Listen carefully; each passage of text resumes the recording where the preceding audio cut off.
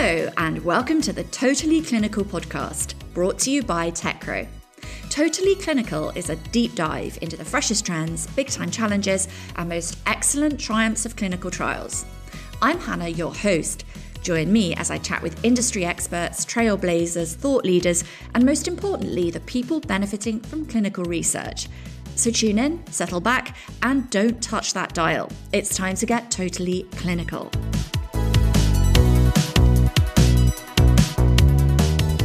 This week, Cindy Jackson, Chief Operating Officer at the Institute for Advanced Clinical Trials in Children, joins the podcast to discuss developing medicines for children.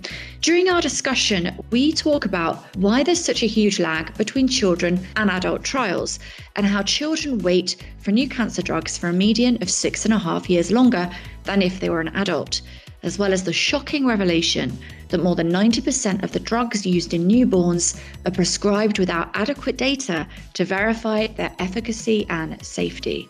Welcome to the podcast, Cindy.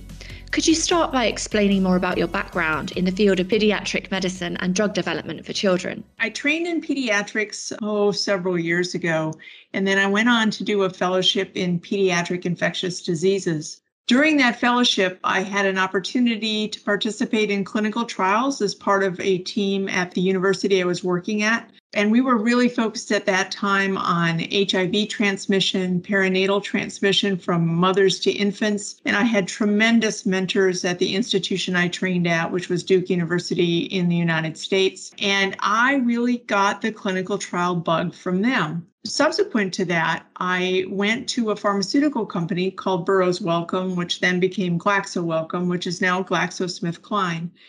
But while I was there, I worked in one of the laboratories that actually was the discoverer of zidovudine or AZT, which is the first treatment which was approved for use in patients with HIV infection. And this further got me interested in doing clinical research and especially drug development. I then went on to work as a pediatric ID consulting physician, as well as being a um, physician investigator in pediatric clinical trials. And then I transitioned into industry as a medical advisor in the contract clinical research organization Quintiles, where I was there for 16 years and had a variety of jobs. Uh, the last jobs were running the pediatric and rare diseases centers of excellence. I then moved to another large CRO, Covance, and did a very similar job before I moved to being the chief operating officer at I-ACT about one year ago. It's rather understating it to say you've got a lot of experience in your field. So, in terms of clinical trials, the process is easily misunderstood. And I think this is doubly true when it comes to developing medicines for children. Could you explain more about the process for our listeners? So I think most people are completely unaware of the drug development process, probably in general. A little less so now that COVID has taken over the airways and people are talking about clinical trials. But I think this is doubly true for development of drugs for use in children. And I think most people don't realize it's a little different from a drug development from a regulatory standpoint but it's also a little different from drug development from an incentive standpoint. And let me talk about that a little bit more. The majority of therapeutics or drugs are developed for the adult market. And there's very, you know, real and common reasons for that. The pediatrics only makes up about 25% of the population of the world, so the market isn't that big. Children don't tend to have a lot of chronic conditions, they tend to have more acute illnesses.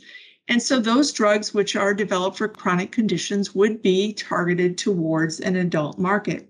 So when an IND is filed here in the United States, the process moves forward with adults and very few drugs are targeted for children at the outset. I'll give you a couple examples of drugs that would be targeted for children. One would be surfactants for use in pediatric neonatal intensive care units for premature babies that have underdeveloped lungs. That obviously would be developed for pediatrics first. And also for infant vaccines, those vaccines that we all mostly received as, as infants and small children. And there is really no incentive for pharmaceutical companies to actually do trials in children without regulatory requirements encouraging that these trials be done for those reasons that I've already explained. So, not to get too much into the regulatory weeds, but I think the listeners should be aware of what the regulatory process for children is. And I think it will inform much of the discussion as we go forward. So, in the United States, there are two laws that are applied to drug development for children PREA, or the Pediatric Research Equity Act, and BPCA, the Best Pharmaceuticals for Children Act. PREA is also often called the stick law, which means it requires studies to be completed in children in the indication for which a new drug application was approved in adults if it would be appropriate. And I'll use an example. If a drug is approved for adult community acquired pneumonia, it must be tested in children for that same indication. So, community acquired pneumonia in children. That's the PREA law. The BPCA law is voluntary, and that is that a company can submit something called a PPSR, a proposed pediatric study request, to the FDA to study a drug for a certain indication, not generally the indication that the NDA was approved for. Or the FDA can request a study in another indication that they feel might be more appropriate for children. And again, this is voluntary. A company can choose to or not to participate under BPCA for that particular therapeutic. And the European Medicine Agency has similar rules regarding doing pediatric clinical trials. So, in one case, the study must be done, and in other cases, it's voluntary. And there are incentives for companies to do those voluntary studies. And those incentives include being able to market the product under patent protection in the United States for six months for any indication. So that gives a company some monetary advantage to doing these extra pediatric trials. So once they're designed, how do clinical trials work in terms of adults versus children? But once the trials are designed and started, the process followed is very similar to that in adults. So, phase one through phase four clinical trials, usually after phase three, an application to market is put into the regulatory agencies. The only difference is that in pediatrics, normal, healthy children cannot be included in phase one clinical trials. In pediatric clinical research, phase one trials are done in children with the indication to be studied. So they may only get a dose or a couple doses, but they have to have at least the condition for which the drug is going to be approved. And I think that's confusing for some companies, and it's also confusing for the listeners who may be on this podcast. And I also think most people don't realize that many therapeutic agents are used off label in children, which means that they're used before a certain indication is approved. And I have to say that off label prescribing is often the rule and not the exception in pediatrics, because we as pediatricians must do this to appropriately care for our patients before these studies are oftentimes done. So let me give you some statistics. 40% of clinical trials that start in children fail, 60% stall, and 30% never enroll a single patient due to avoidable delays. So the in the absence of any approved new therapies, more than 50% of the drugs used in children and more than 90% of those used in newborns are prescribed without adequate data to verify their efficacy and safety. These numbers should not be acceptable to anyone. Could you explain a bit more about why this is the case? Yeah, I'd love to. So, why is there such a long lag time between adult and pediatric approval? And there are many reasons for the lag time, but I'll give you the, the two biggest ones that, that I commonly see. First, there may not be an appropriate formulation or dose which is manufactured that would be appropriate for children. So, if you think about this, it makes sense. Small infants, infants in neonatal intensive care units, often aren't feeding, so they'll need IV formulations of drugs. Smaller children can't swallow pills, so they'll need solution suspensions or powders. And if you think about adult medicines, most of those are in pill form. So we we have to then do the studies to do the manufacture of those different formulations to be able to even start the pediatric clinical trials in some cases. But the biggest reason is not including pediatric age patients during the course of the adult development. So that means A, not allowing adolescents to be enrolled in adult clinical trials, or B, not even starting clinical trials in children until the adult clinical trials are completed. And this makes sense from a business standpoint because companies are worried that simultaneous trials would put the adult licensing at risk. And there have been many studies that have looked at this issue, and they found no new contraindications, warnings, or adverse events identified during pediatric trials that would negatively impact adult licensure. And a study done by the FDA supported the simultaneous development of adult and pediatric medicines and allowed concurrent approval in both age categories when those concurrent approvals were asked. So the bottom line is if you start pediatric clinical development early, so during the course of adult clinical development, it certainly will reduce that lag time. We know this is the case, and we have a, a really good example in the COVID vaccines. Pfizer elected to enroll uh, adolescents down to 16 years of age in their adult clinical trials. So, therefore, they kickstarted their pediatric clinical development program and quickly went into children. And therefore, we had an approval uh, within a year of an adult approval for our for the Pfizer COVID vaccine, Moderna shortly thereafter. So we know it can be done. It just isn't commonly done. And how long do these lag times tend to be? This long lag time between uh, adult approval and pediatric approval in the same indication can be upwards of a decade or even longer. And I find this statistic really sad. It's estimated that children wait for a new cancer drug a median of six and a half years longer than if they were an adult patient with the same cancer.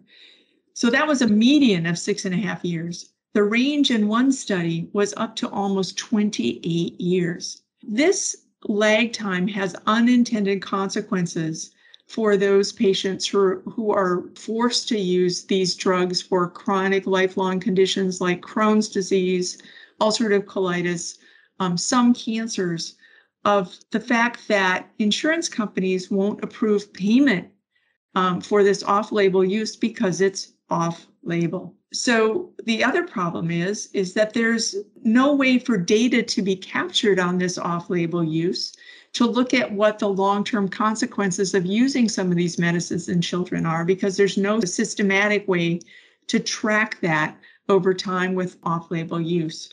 So it's a it's a double problem. This lag time issue should not be acceptable to anyone.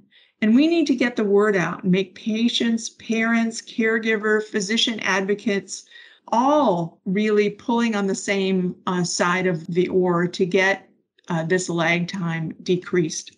It's re- really not acceptable for clinical care for children. If we go back to the clinical trial process itself, could it be that the problem is that it's harder to conduct pediatric clinical trials in comparison to adult trials? First, I always tell people that doing pediatric clinical research is not harder or more difficult, it's just different. And we have to take a different tactic. We have to redefine our expectations and we have to think about things differently. And I think there are both macro and micro things that we have to do to be successful working in pediatric clinical development and on clinical trials at the site level. The macro part is making clinical trials and clinical research part of good patient care making clinical research as common and expected as having your vitals taken when you go to the doctor's office, I really think should be our goal. Make it be an expectation of your patients and families to be offered to participate in a clinical trial. There have been clinical trial sites that have been very successful at doing this, and multiple studies have shown that clinics and institutions that provide clinical research options for their patients have higher patient satisfaction and most importantly, have better outcomes.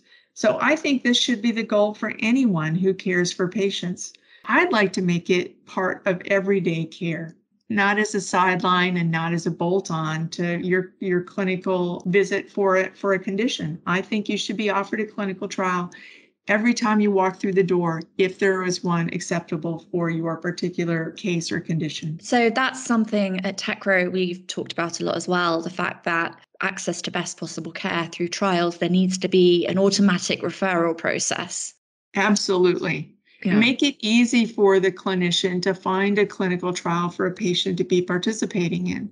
in two separate surveys done by colleagues and I over the last several years. And the surveys were done to parents of school age and adolescent age patients. And the questions were around why do you or do you not participate, or would you consider participating in a clinical trial?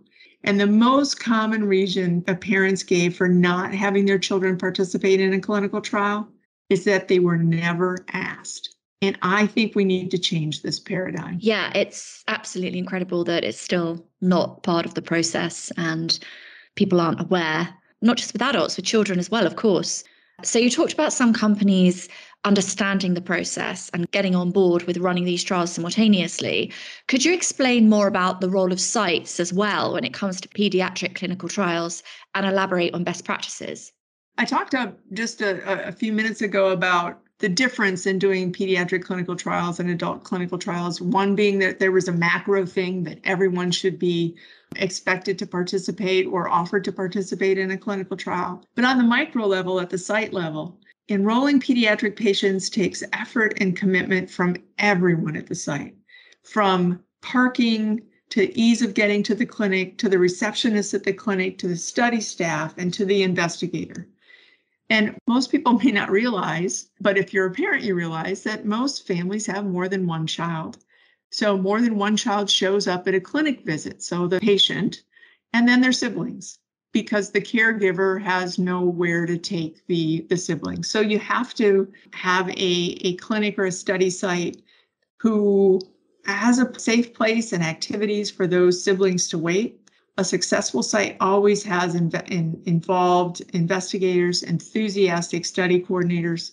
I recently heard from one investigator, and this was just literally in the last couple weeks, that masking due to COVID made it harder to consent his patients because they couldn't see him smile. And I just want to say I'm a huge proponent of masking, as is he, but it really illustrated the need for investigators to be heavily involved in the process and some research colleagues and I have done over the years indicate that the most common reason parents consent to having their children participate is because their physician, who is a trusted member of their healthcare team, recommended participation to them. And that can't be overstated. It's interesting that you highlight these quite straightforward things when it comes to best practice at sites, these things that we take for granted in other places. I talked about ease of accessing the site, so parking, instructions on how to get to the clinic, where to wait, where the receptionist is, etc. Again, the ability of the site to engage the siblings while the patient is being seen. I think one that we kind of forget about is extended hours, such as before and after school and on weekends. It's not convenient for some institutions to be able to do that, but those institutions that can do that generally have a much easier time enrolling their clinical trials. A phlebotomist who's skilled at working with pediatric age patients, able to draw that blood, able to use distraction techniques to make sure it's not a very traumatic procedure for them. And activities for patients to participate in during long visits. And I'll give an example. Um, several years ago, I was participating as a medical advisor in a phase two clinical trial uh, for an asthma drug. And the study required an eight hour visit for the children, and they were younger children. They were probably six to eight years old. And the visit was eight hours, one time a week for several weeks in a row. When I first looked at that protocol, and I thought, oh my, this is never going to enroll. It's going to be just uh, an albatross around our necks. Um, it's going to be very difficult. And I was absolutely floored when that trial enrolled early. The satisfaction of the participants in the trial was very high. And here's the reason why. The asthma sites that we used were very good at doing trials in which the patients needed to be there for multiple pulmonary function testing visits or multiple pulmonary testings during the course of the day. They had activities for the kids. They brought in food for them during the day. It almost became like a camp experience. The kids got to mingle with each other during the day. The parents literally had a day off of taking care of their children. And it really was due to the fact that the sites were so well prepared And also, these sites had a very engaged patient population. They were used to being asked to be participants in clinical trials. In many cases, these children who participated in this trial were siblings of older children in the family who had also participated in clinical trials, which again goes to that the thing I was talking about the culture of clinical trials being embedded into the clinical care of a patient. This idea of making sites more convenient, if you like, has also been mentioned by other guests we've had on the podcast in relation to the idea of diversity when it comes to underrepresented communities. It's such an important topic right now in the industry. It would be great to hear your thoughts on this. So, I think we as an industry are not doing a great job at diversity. At the Institute for Advanced Clinical Trials for Children, where I am now, we actually have assembled a diversity panel that is available to sites. It's available to uh, biopharma clients. It's available to literally anybody who wants to reach into this group and talk about how to increase the diversity of clinical trials. Uh, in our case, for children, but I think across the board for adults as well. So I think it's a very important issue. I think that we need to talk about it more.